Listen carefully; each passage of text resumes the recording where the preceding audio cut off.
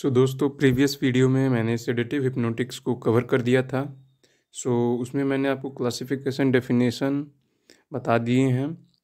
सो so, इस video में हम ड्रग को डिस्कस करेंगे जिसमें हम लोग देखेंगे डायाजिपाम को देखेंगे फ्रेंड्स और अल्प्राजोलाम और एक लास्ट ड्रग है इसको नाइट्राजिपाम कहते हैं। तो इन ड्रग्स को हम इस वीडियो में डिस्कस करेंगे तो हमारा सेडेटिव हिप्नोटिक कंप्लीट हो जाएगा। सो फ़र्स्ट ऑफ़ ऑल हम लोग सबसे पहले आते हैं डायाजिपाम में। सो so, ये इसका स्ट्रक्चर है फ्रेंड्स और फिर इसके मॉलिकुलर फार्मूला पे हम लोग आते हैं तो मॉलिकुलर फार्मूला इसका है C sixteen H thirteen C L N two O so ये इसका मॉलिकुलर फार्मूला है दोस्तों.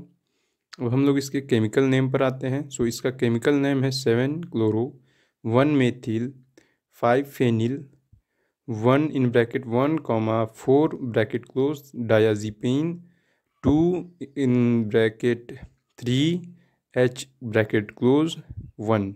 So ये इसका केमिकल नेम है फ्रेंड्स, और इसकी फ़िज़िकल प्रॉपर्टी पे आते हैं तो इसकी physical property of white to yellow crystalline powder होती है। और इसकी केमिकल प्रॉपर्टी पे अगर आएँ तो इसकी केमिकल प्रॉपर्टी फ्रेंड्स, इसकी chemical property completely soluble in dimethylformamide होती है, इसकी केमिकल प्रॉपर्टी। अब इसके यूज़ पर आते हैं।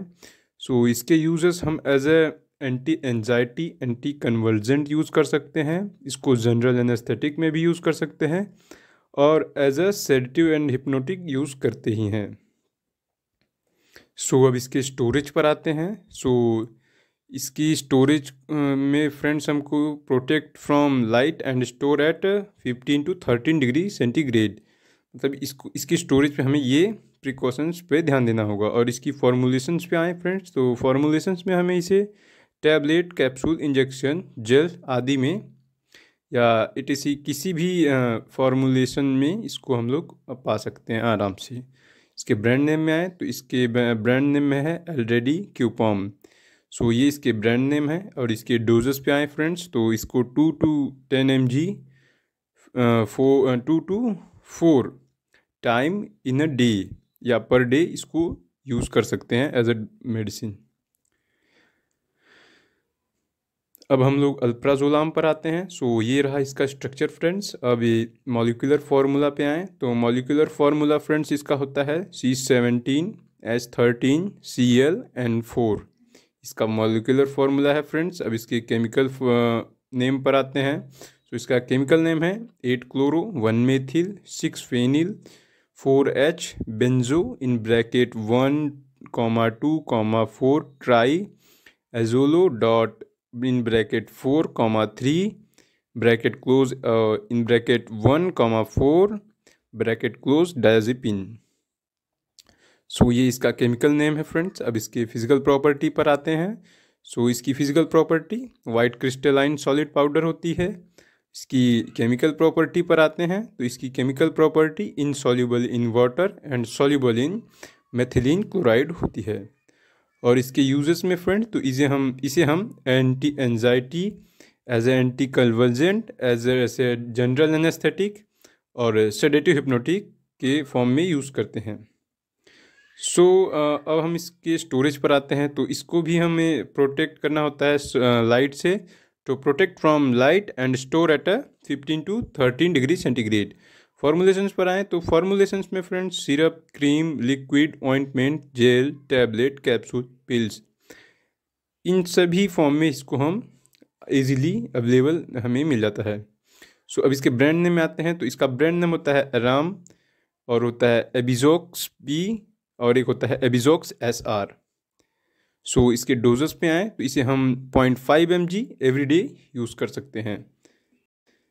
अब आते हैं हमारे थर्ड ड्रग पे जो है नाइट्राजिपाम सो so, इसका मॉलिकुलर इसका स्ट्रक्चर फ्रेंड्स ये है इसके मॉलिकुलर फार्मूला पर आते हैं तो इसका मॉलिकुलर फार्मूला है C fifteen H eleven N three O three अब इसके केमिकल नेम पर आएँ तो इसका केमिकल नेम है seven Nemo five phenyl one H in bracket one comma four bracket close diazepine two one. ये इसका केमिकल नेम होता है फ्रेंड्स। सो so, अब हम इसके फ़िज़िकल प्रॉपर्टी पर आते हैं। सो so, इसकी फ़िज़िकल प्रॉपर्टी है फ्रेंड्स येलो क्रिस्टलाइन पाउडर। इसकी फ़िज़िकल प्रॉपर्टी होती है। अब इसके केमिकल प्रॉपर्टी पर आते हैं। तो इस ये soluble in alcohol and insoluble in water. इसकी केमिकल प्रॉपर्टी होती है। सो so, अब हम लोग यूजेस पे आते हैं। तो इसे हम as a sedative and hypnotic he use करते हैं। अदर नो सो स्टोरेज पर आएँ तो इसे store at a room temperature and protect from light इस, इसको स्टोर करने के लिए हमें स्टोर जो होता है, इसको स्टोर करने के लिए रूम टेम्परेचर पे स्टोर कर सकते हैं। और, इसको सनलाइट से या लाइट से हमें इसको प्रोटेक्ट करना होता है। इसके फॉर्मुलेशन पे आते हैं फ्रेंड्स तो इसका फॉर्मुलेशन टैबलेट कैप्सूल और इंजेक्शन के फॉर्म में यूज़ कर दिया किया जाता है। इसके ब्रांड नेम में आए तो इसकी ब्रांड नेम होती है नाइट्रा टेन और नाइट्राज जेड ये इसकी ब्रांड नेम है, एक और है नाइट्रा वेट अब इसके डोजेस पे आए फ्रेंड्स तो इसकी डोज होते हैं five M G to ten M G ये इसके डोज हैं। अब एक और ड्रग है फिनोबार्बिटल फिनोबार्बिटल का ये स्ट्रक्चर है फ्रेंड्स अब इसके मॉलिकुलर फार्मूला पर आते हैं। सो इसका मॉलिकुलर फार्मूला है C twelve H twelve N two O three ये इसका मॉलिकुलर फॉर्मूला है। अब इसकी केमिकल नेम की तरफ़ आते हैं।